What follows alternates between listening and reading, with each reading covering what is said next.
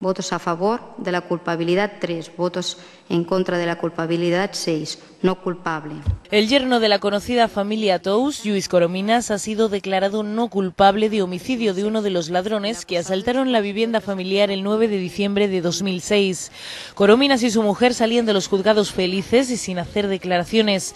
Era el abogado quien comentaba cómo ha recibido la noticia. Satisfacción contenida, ¿eh? como os decía, satisfacción contenida.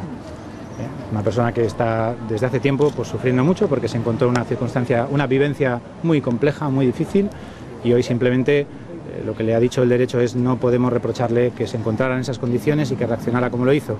El Tribunal Popular que juzga el caso ha considerado que el procesado sufrió una amenaza real, seria e inminente y disparó por el miedo que sentía. El jurado da así por buena la legítima defensa al considerar que Corominas, alertado por el vigilante de seguridad, acudió a la vivienda, se acercó al coche sospechoso y al observar un movimiento brusco de uno de los asaltantes, disparó al creer que éste le iba a disparar a él.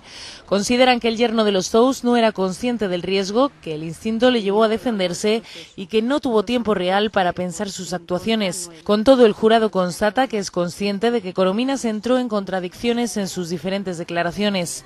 La Fiscalía y la acusación particular, que representa a la mujer y al hijo del fallecido, pedían siete años y medio y once años y medio de cárcel respectivamente por un delito de homicidio, mientras que la defensa del acusado pedía la absolución y así ha sido finalmente.